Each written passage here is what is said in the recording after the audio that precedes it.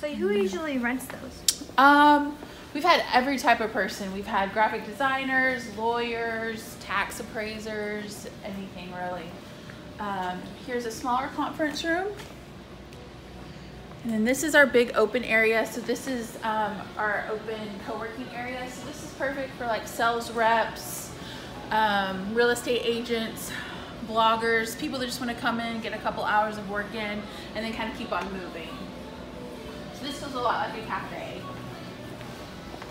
And here is an example of a one-person office. So it'll come with the desk, the chair, and the filing cabinet, your name on the door, and this door locks, and then everyone, um, and then you have a 24-hour access. So you're able to access your office whenever you need.